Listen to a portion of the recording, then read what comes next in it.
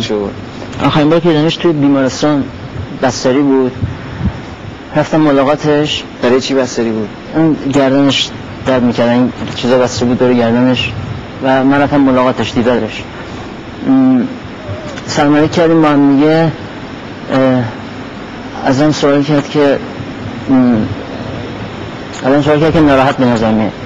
این داستان که دارم بهت بگم مال همون بهبوی قیام هاست. گرما گرم. قیام سراسری. آره خیابونه روز روز شلوغ‌تر می‌شد. من بهش گفتم که با خلاصه من الان دل تو دلم نیست خلاصه. طاقت دیدن این صحنه رو ندارم. تو داخل اینطوری که جوونه میرن جلوی چوب و چماق میستم با دست خالی. من حالت بیقراری دارم. بهم گفتش که این قضیه ادامه داره. این قیام ها ادامه داره و نگران نباش نوبت ما هم خواهد رسید. عجب. بله. حالا دیدیم که در فاصله کوتاه بله. هشت در کاکل قیام قرار گرفت.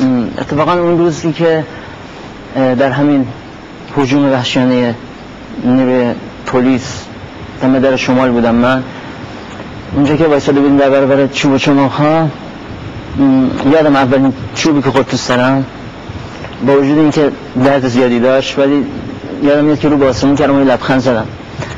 آن نمی‌دونم اون لحظه چی تو زنم گذشت ولی علیرغم این که به لحاظ جغرافیایی در میهنمون نبودیم ولی شعارها هم شعارها بود و چوب و چماق هم چوب و چماق ها بودن حال فکر کنم اونجا فهمیدم از رو پدرم چی بود وقتی نفرم می‌زد.